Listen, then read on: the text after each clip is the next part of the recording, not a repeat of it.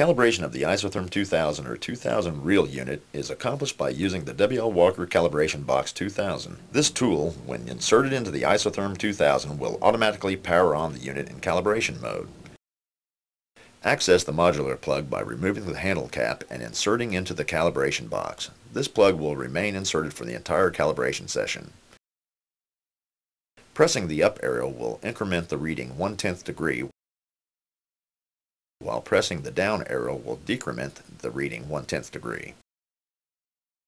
When at the desired low range reading, we save the cal point by simultaneously pressing the shift button and the save low buttons. This process is then repeated at the high range cal point by simultaneously pressing the shift button and the save high buttons. After the saving of the low and high cal points, remove the modular jack from the calibration box which will automatically end the calibration mode session.